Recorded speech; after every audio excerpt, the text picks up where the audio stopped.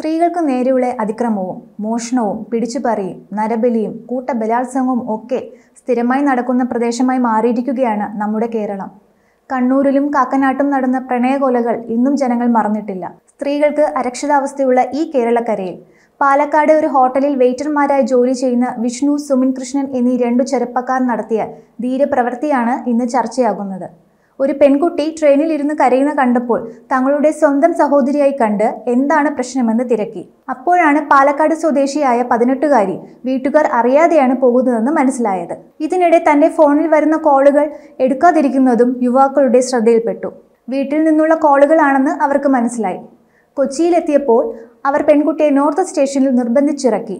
പെൺകുട്ടിയുടെ ഫോണിൽ നിന്ന് തന്നെ വീട്ടുകാരെ വിവരം അറിയിച്ചു ആ സമയം പാലക്കാട് നോർത്ത് പോലീസ് സ്റ്റേഷനിൽ കാണാനില്ല എന്ന് പരാതി നൽകാൻ എത്തിയതായിരുന്നു വീട്ടുകാർ.